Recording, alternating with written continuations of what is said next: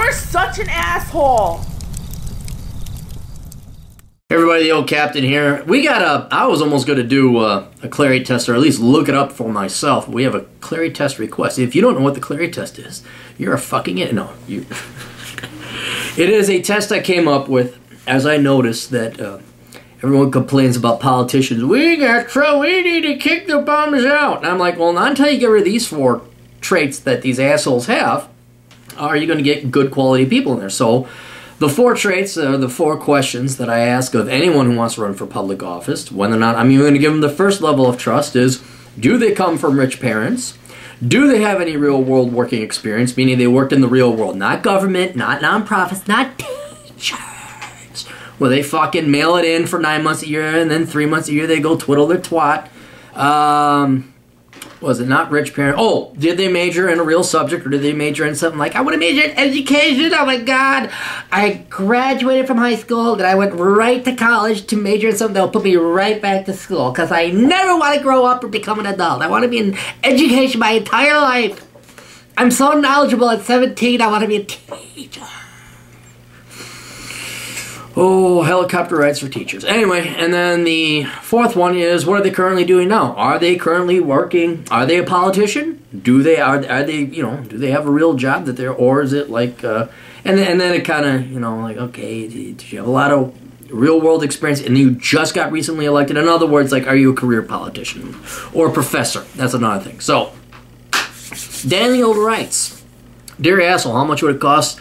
For a YouTube clarity test on Trump's proposal of Rex Tillerson for Secretary of State and what your opinion is on the matter. Now, Rex, I know him because how the fuck do you forget her name like Rex Tillerson?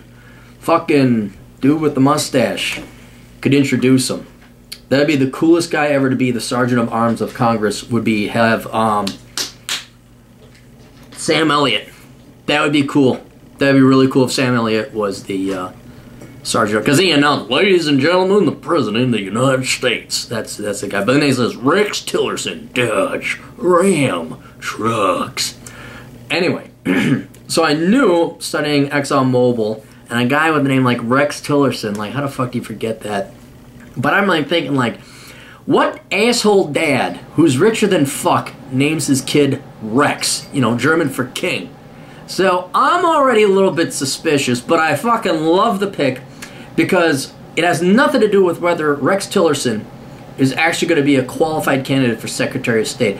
I like it because right now that just blew the aortas and the brain uh, arteries of all the SJW leftists because he just appointed Big Oil's biggest guy to the Secretary of State position.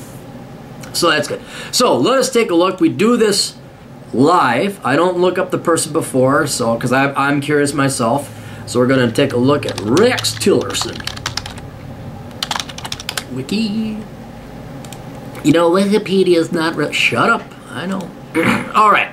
Early life and education. Tillerson was born 1952, of Wichita Falls, Texas, son of Patty Sue, Hoo-wee, and Bobby Joe. It's just, you can't make this up. Active in the Boy Scouts of America for most of his life, he earned the rank of Eagle Scout. Ah, sorry guys, sounds like a really good dude. Tillerson received uh, a bachelor's degree in civil engineering uh, in 1975. He was involved in the Tejas Club or the Longhorn Band. Uh, distinguished engineering graduate. All right, so he didn't major in worthless subjects. So, and by the way, you want a, a low score on this. You want ideally a score of zero, but very few people have that. We found out that um, booze runners and gangsters back in the 20s, Prohibition days, are the ones that have the best scores. Uh, and there's no real way to tell whether he came from wealth or not. I'm going to assume that if he came from Boy Scouts of America, he probably didn't come from a really rich family. Uh, but uh, he certainly doesn't get any points because he majored in civil engineering, so that's good. Da, da, da, da. Chairman no, but I mean, the Rockefeller family also want ExxonMobil to invest more. what the resolution? Da, da, da. All right, ties with Kurdistan, other affiliations. Blah blah blah. I'm just trying to find. Bear with me. We may have to interrupt it. Personal life. Oh, married to Renda St. Clair. Oh, here we go. Boy Scouts of America, Distinguished Eagle Scout. His father was a BSA, Boy Scouts of America executive. Uh, as long as I was a supporter. Da, da, da, Him and his wife are Christians. Uh, you know what? Let me pause this and uh, pause this. Let me see if I can't find anything on because it usually it says something about the family. Usually it says that, but give give the old captain a a, a break here. Okay, we found it. Uh, this is from Fox News, which I know you all call phone news, but uh, unless you guys got a better source, uh, his father was a modestly compensated administrator for the Scouts. Okay, so they did not come from money. They're not like uh, Hillary Clinton.